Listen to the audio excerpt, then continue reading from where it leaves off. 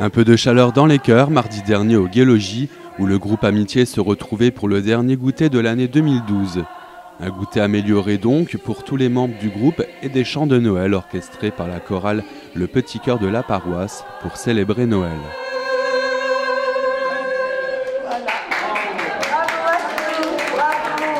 Toutes les personnes qui viennent là, sont très contentes de venir le mardi après-midi, passer quelques heures ensemble. C'est très familial et c'est dans la gaieté.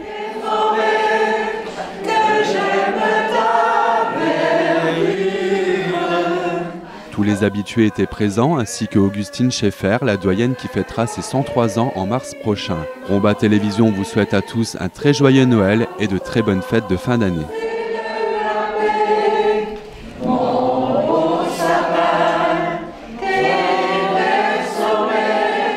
Come.